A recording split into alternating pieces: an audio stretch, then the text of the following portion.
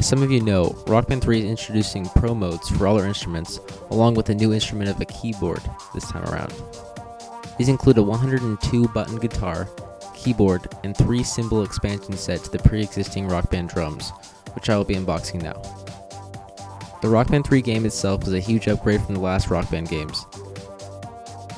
Some of the new features include career goals, challenges, road challenges, and much more.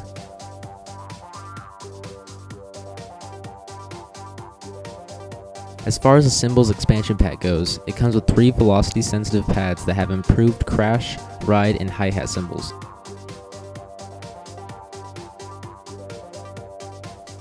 One awesome thing about Pro Drums and Rock Band is that it's the only pro mode that currently works on all past Rock Band songs.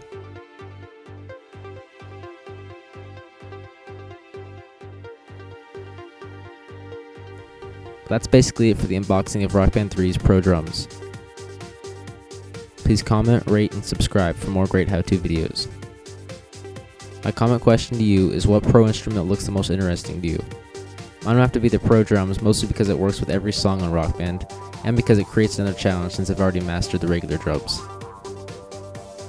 Last but not least, make sure to check out my personal vlogging channel at youtube.com slash BeauVlogs.